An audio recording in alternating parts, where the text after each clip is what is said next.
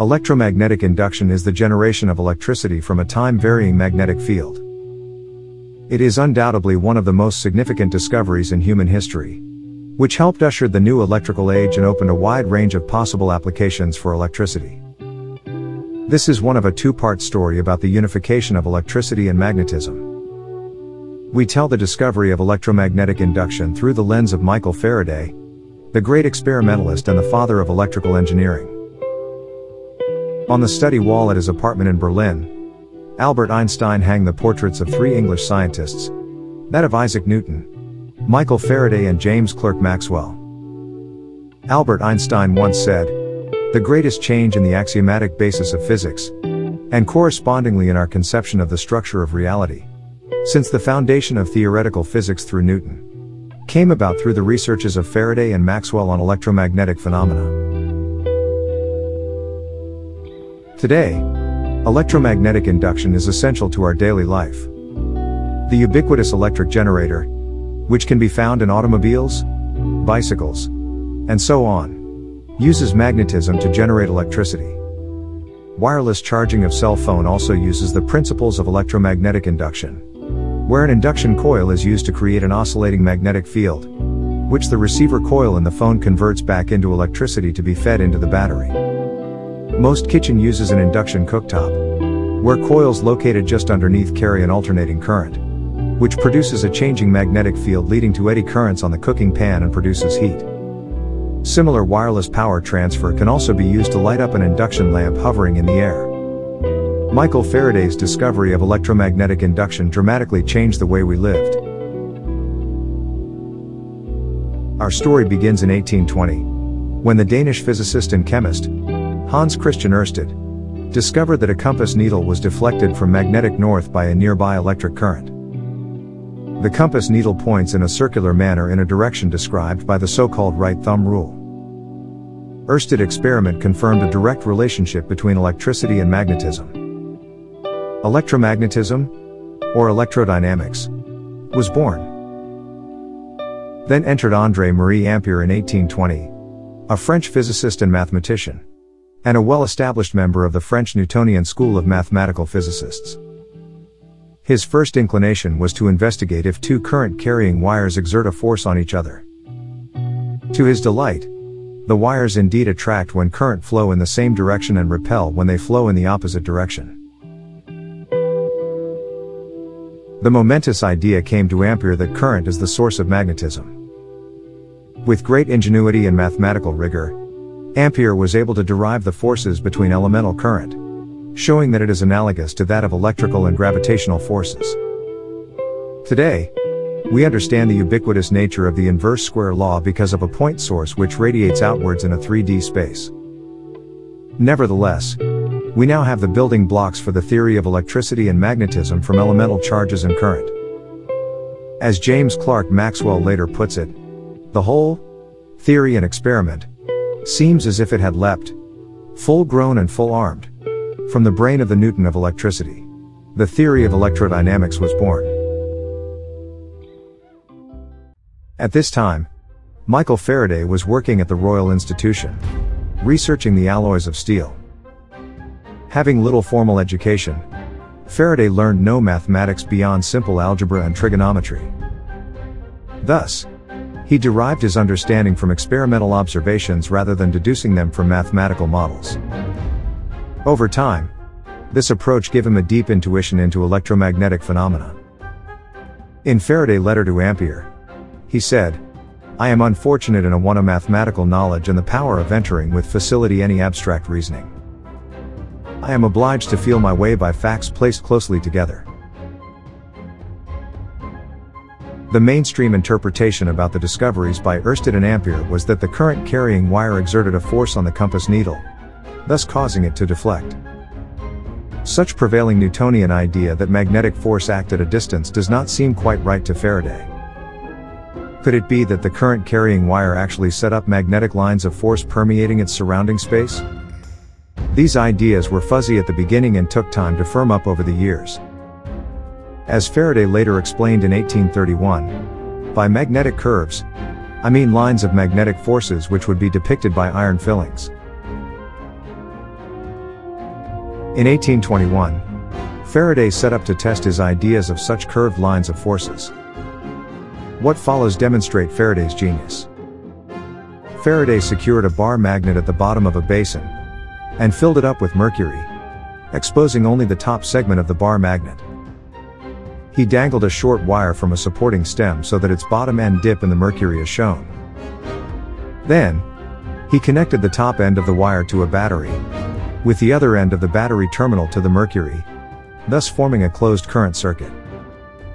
To his great delight, the bottom end of the wire moved around the magnet in rapid circular motion.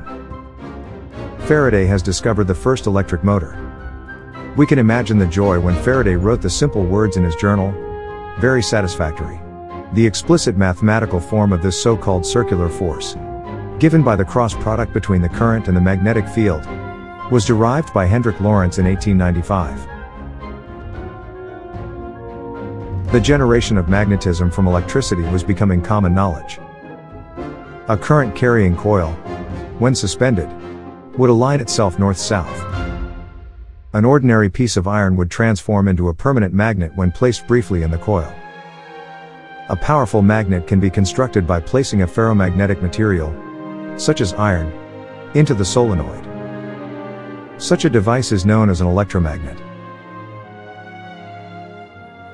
In 1831, Michael Faraday finally succeeded in demonstrating electromagnetic induction, the generation of electricity from magnetism. His apparatus consisted of a ring of iron, wound around on opposite sides by two coils of wire. The coil of the left was connected to a battery, while the coil on the right to a galvanometer, which measures the flow of a current. When he connected the left circuit, allowing a continuous current flow. Faraday observed the galvanometer needle started to move. The needle flung to the left momentarily, and then settles back to center, despite the fact that the current in the left circuit is still flowing. When Faraday disconnected the left circuit, the galvanometer registered a reading again, but this time the needle flung to the right instead. Again momentarily and then settles back to the center position. From his observation of the circular motion in his electric motor experiment, to the electromagnetic induction of a remote secondary coil, Faraday is beginning to be convinced that magnetic forces has a real physical presence in space. Faraday wrote later, I cannot conceive curved lines of force without the conditions of a physical existence in that intermediate space. Such a viewpoint cannot be more different than the Newtonian school of thoughts, which believe that forces in nature act at a distance between material bodies, and do not concern about the intervening space. Faraday was beginning to realize how sharply his ideas diverged from the mainstream. Ampere highly mathematical theory of magnetism, set in the tradition of Newtonian forces action at a distance, is universally accepted, but was unable to explain what he just observed. Faraday began formulating an intuitive physical picture of what is happening in terms of the lines of forces. The switching on of the left circuit produces magnetic field lines in the interior of the left coils, which then propagates towards the right coil, guided by the iron ring. As the magnetic field lines began to cut the right coils, these magnetic lines produced a current in the coil. The rate of magnetic field lines cutting decrease as it eventually propagates throughout the iron core, and the galvanometer would then register zero current. However, the current in the left coil is still flowing, and the magnetic field lines are still permeating through the iron core. But the rate of change of magnetic field lines as seen from the right coil is zero. Thus, the phenomenon of electromagnetic induction is transient, which is no wonder it had escaped observations and experiment all this time. The induced current flow depends on the rate of change of the magnetic flux, or the magnetic field lines integrated over its cross-sectional area. The induced current is due to a so-called electromotive force, denoted by the symbol epsilon, and has the dimension of voltage. The electromotive force is therefore like an effective voltage source which drives the current through the galvanometer. This equation encapsulates Faraday's law of induction. It actually took more than a decade. From the discovery of the phenomenon of electromagnetic induction in 1831 by Faraday, to arrive at a concrete mathematical description of the phenomenon. In 1832, the American scientist Joseph Henry discovered the phenomenon of self-inductance independently of Faraday. The Russian scientist Emil Lenz clarified the directionality of the electromotive force and the induced current in 1834. The laws of induction of electric currents in mathematical form was only established in 1845 by the German scientist Franz Ernst Neumann. We will elaborate on these ideas in what follows. We shall describe Faraday's electromagnetic induction experiment in more quantitative terms. The flow of an electric current through the solenoid on the left produces a magnetic flux that links the coil 1 with 2, which we denote as phi 1 2. According to Ampere's law, this is proportional to the current through coil 1, herein denoted as I1. The proportionality constant is given by the permeability times the cross-section area, A, times the number of loops, N1, divided by the length of the solenoid, L. An electromotive force, epsilon 2, will be induced on the second coil, which according to Faraday's law is given by the number of coils multiplied by the rate of change of magnetic flux with time. But how does one decide the polarity of this induced voltage? Lenz's law states that the direction of the induced electric current is such that the magnetic field it creates will counteract the magnetic field that produces it, as indicated by the orange arrow. The negative sign in Faraday's law is an embodiment of Lenz's law. Thus, according to the right thumb rule, the polarity of epsilon 2 is such that the induced current flows in the direction as indicated. Finally, combining both the Ampere's and Faraday's law allow us to express the electromotive force in terms of the rate of change of the applied current, whose proportionality constant is known as the mutual inductance, herein denoted as M21. In 1832, Joseph Henry discovered the phenomenon of self-inductance, independently of Faraday. As the name implies, any coil which admits the flow of a current can also induce an electrical voltage across itself. This induced voltage also follows the Faraday law of induction, which goes with the rate of change of the current flowing through it. The proportionality constant is its inductance L. Notice that we have dropped the minus sign since we are referring here to the voltage drop across a passive conductor instead of an electromotive force. Faraday's original iron ring covered in copper wires and cotton cloth used in his electromagnetic induction experiment is still on display at the Royal Institution. His discovery of electromagnetic induction was groundbreaking on every level. However, on a practical level, it was unsatisfactory in two aspects. First, the source of his magnetism, which generated the electricity, was produced from electricity. It would be ideal if the electricity was produced from an actual magnet instead. Second, the generated electricity is only momentarily, and any practical use would require a continuous source of electricity. In the same year, Faraday began setting up his new experiment to generate continuous electricity from a permanent magnet. Faraday's new setup consists of a conducting copper disc mounted on an axle. He set an edge of the disc between the poles of a powerful permanent horseshoe magnet. He then made electrical contacts by placing one brush contact on one edge of the disc, and the other to the axle, and connecting the two contacts to a galvanometer. When the disc rotates, the galvanometer needle moved, but this time it stayed in its new position. A steady electrical current was being produced. A decade after making the first electric motor, Faraday made the world first electric generator, or dynamo. The copper disc while rotating is constantly cutting the magnetic field lines emanating from the magnet, which according to Faraday's law would establish an electromotive force.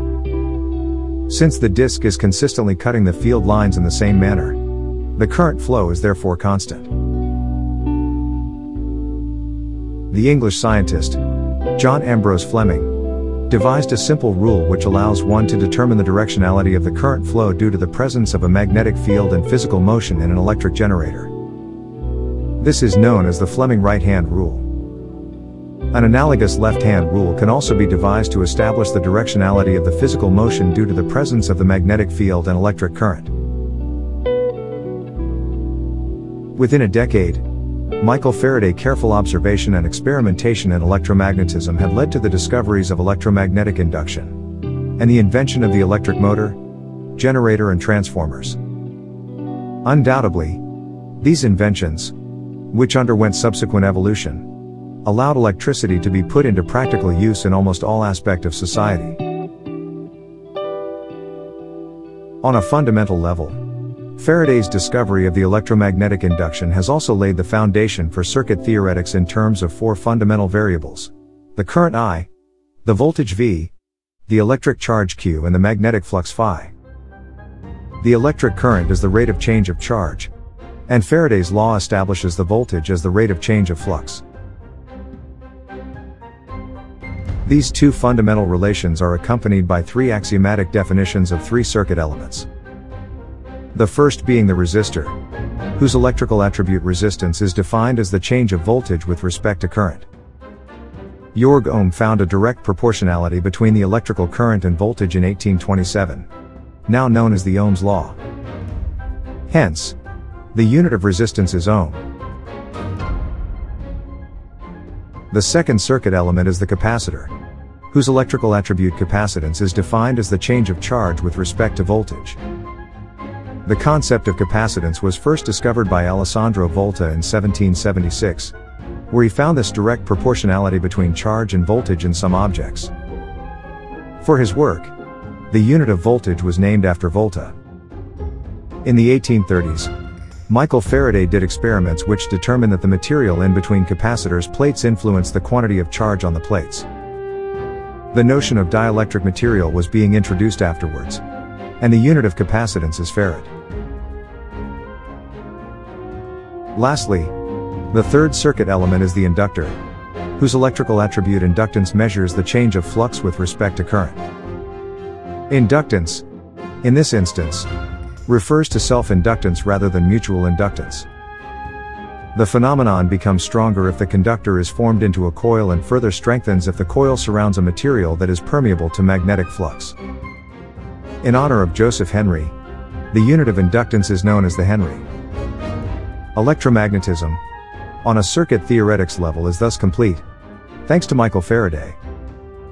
For this, and the widespread significance of his inventions to the field, he is well regarded as the father of electrical engineering. Since the birth of electromagnetism with the discoveries by Oersted and Ampere, Faraday has brought to bear the mystery of how electricity can be generated from magnetism.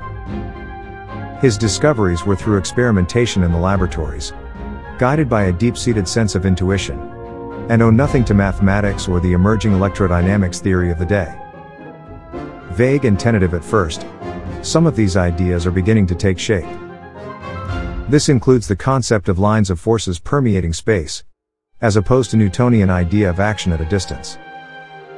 Faraday's intuition also led him to believe that magnetic action is progressive and takes time and was inclined to think that the propagation of this action is mediated by waves. Faraday's experimental and phenomenological approach to electromagnetism had laid the groundwork and seed for the next evolution in the field. It would require the mathematical and theoretical wizardry of James Clerk Maxwell to bring these ideas to light. Literary speaking. Stay tuned, and subscribe, so you will be notified of our future episodes.